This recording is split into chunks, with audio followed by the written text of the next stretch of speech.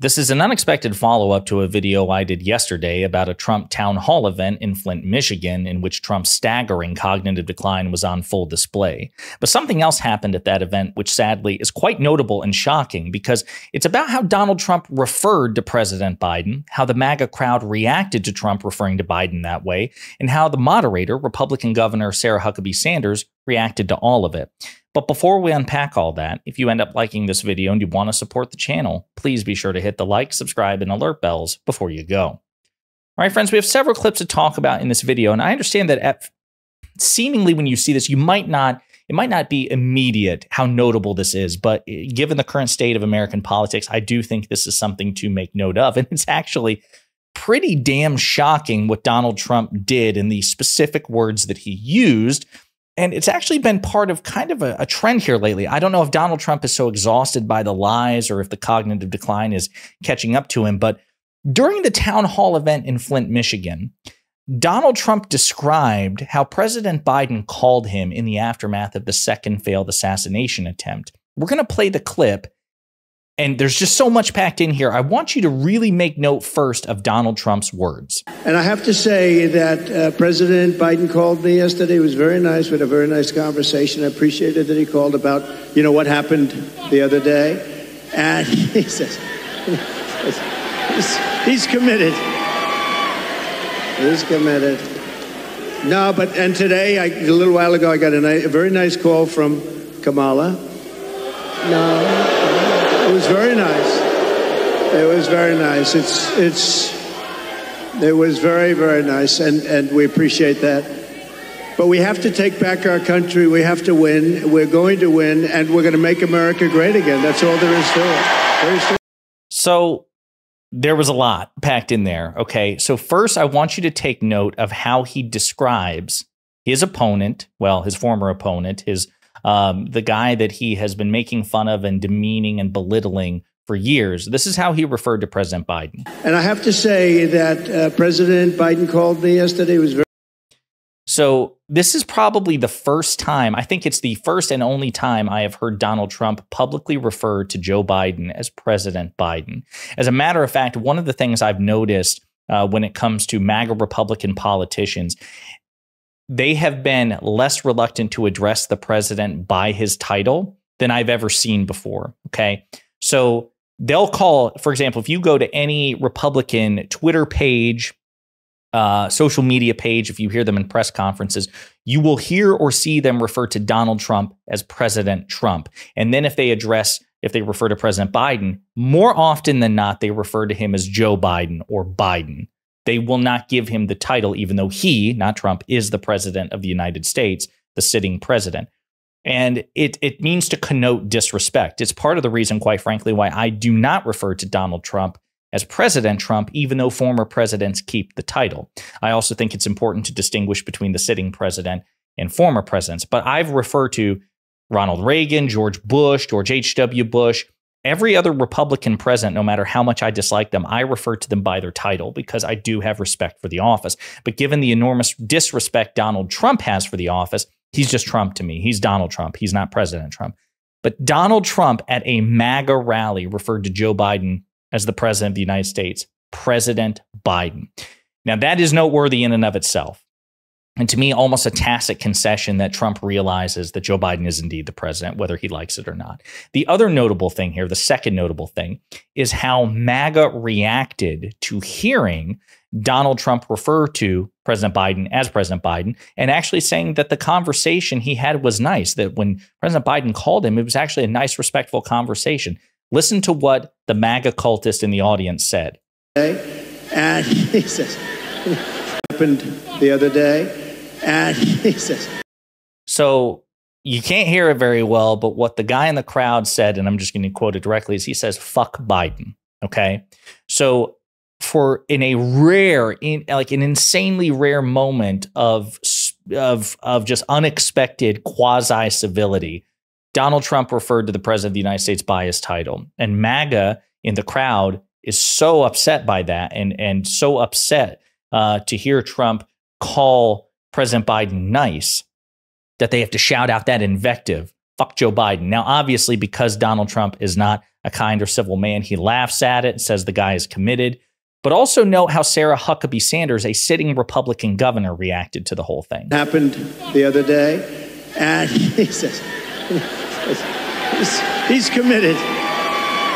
So that's a sitting Republican governor laughing at a Republican Trump supporter hurling invective at the current sitting president of the United States.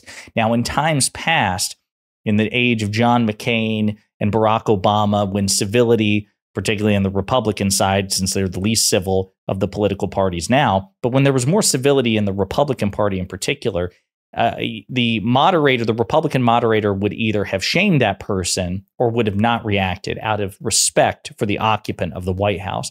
But because MAGA is so inherently uncivil in today's times, she laughs at it. Okay. Imagine how Republicans would react if the shoe was on the other foot and somebody said F Donald Trump and a sitting Democrat laughed. Okay. They would be very upset. As a matter of fact, during the Trump administration, uh, Republicans would repeatedly complain about Democrats being insufficiently respectful to Donald Trump, even though he was, you know, consequently very uh, disrespectful to them, right? Again, the standards of civility are always that you have to treat Trump and Republicans with the highest level of respect, uh, but Democrats just need to take what Republicans give them.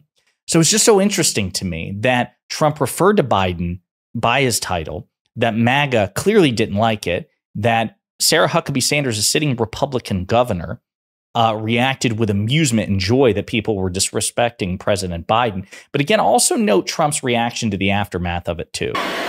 He's committed.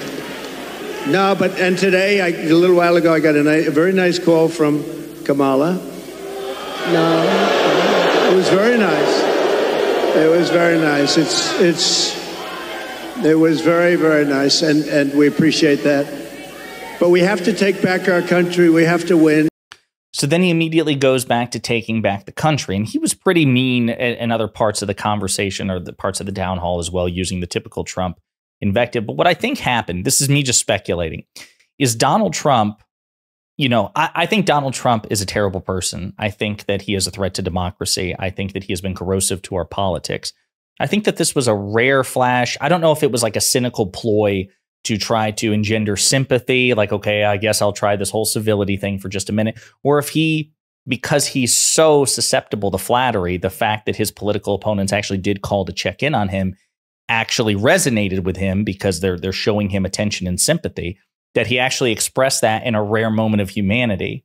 And given the negative backlash that it received, like basically, okay, Joe Biden was nice to me, so I'll call him President Biden and I'll acknowledge that he said something nice to me, that he checked in on me. And the same thing with Vice President Harris, even though he didn't use her title.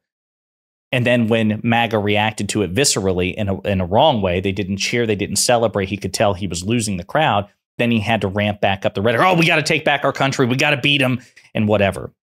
It's just so interesting. That, that segment really, I've been thinking about that segment for hours, kind of in the back of my head. Like, it's so interesting that Donald Trump I, I don't know. Just I, I, that was an unexpected moment, and I think Donald Trump realizes that he has created this cult, which is hostile to the notion of humanizing Democrats, and that's his fault.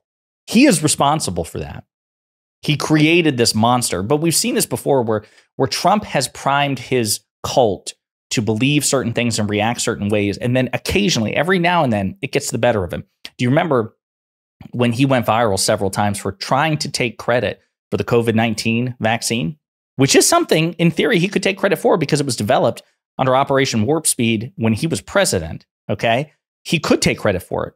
And a sane person would be able to take credit for it. But the few times he tried, he was publicly booed. And so he stopped taking credit for the vaccine, right? Because he recognized, oh my God, I have primed these people to be so hostile to taking COVID seriously and they're so conspiracy brained that I can't even take credit for this damn thing. So I'm going to stop doing one of the few actual accomplishments of his administration he can't take credit for because it's one of the few instances where he primed the crowd to overreact. Kind of the same thing here, don't you think? That a rare, unexpected moment of quasi respect for the sitting president of the United States and the vice president was met with total hostility from his own crowd. That's on him. I also think it's interesting too because it comes on the heels of Trump publicly admitting in a few sit down occasions, once in a, a panel with Moms for Liberty a few weeks ago, and then again in a Lex Fridman podcast, Donald Trump also seemed to admit finally that he lost the 2020 election to President Biden. 10 or 12 million votes more than that, more than anybody had ever got. We got the most votes of anybody, of any sitting president in history. And he beat us by a whisker. Even then, so usually the lie is that he tells his crowd is that we got more votes than everybody. We got more votes than everybody. But then he corrected himself. Well, actually, we got more votes than any sitting president, which was true. Just that Joe Biden got more in 2020. And then he admitted it. He beat us by a whisker, although that's really not true either because 7 million votes isn't a whisker. Again, that's more of an elephant tusk than a whisker. Um, but he then said the same thing in a Lex Fridman interview subsequently. What do you think you'll do in the debate coming up in a few days? So I've done a lot of debating, only as a politician. I never debated. My first debate was the uh, Rosie O'Donnell debate, right? The famous Rosie O'Donnell debate. The answer. Uh, but I've done well with debates. I mean, I became president. Then the second time, I got millions more votes than I got the first time. So I was told if I got 63 million, which is what I got the first time, you you you would win. You can't not win. And I got millions of more votes than that, and uh, lost by a whisker. So it's just interesting. I'm trying to think if it's a combination of Trump just being so tired or being cognitively impaired or what. I don't know what's going on, but he has undercut his own lies and the myths that he has perpetuated in these critical moments. Now, again, it's too late, I think, for for uh, Donald Trump to do a proper about face on this because he has lied so consistently and disrespected President Biden and the Democrats so consistently. There's no reversing that momentum. But again, I just I couldn't help but be stuck with that moment. I wanted to share it with you a very shocking sentiment by Donald Trump. The reaction from MAGA was pretty visceral. And then again, the disrespect uh, against President Biden by sitting Republican Governor Sarah Huckabee Sanders. All that's just so fascinating to me. And I want to know, let me know what you think in the comments.